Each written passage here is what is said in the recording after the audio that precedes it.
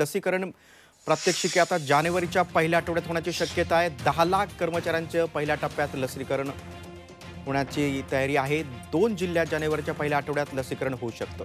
बघा दहा लाख कर्मचाऱ्यांचं पहिल्या टप्प्यात लसीकरण होईल. राज्यात लसीकरणाची पूर्वतयारी सुरू आहे. लसीच्या साठवणुकीसाठी शीत साखळी निर्माण केलेली आहे.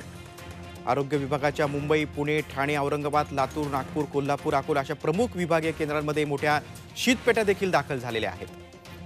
तर भारताचा विचार केला तर पंजाब गुजरात आसाम आणि आंध्र प्रदेश या चार राज्यात लसीकरणाची प्रात्यक्षिकं आज आणि उद्या होणार आहेत.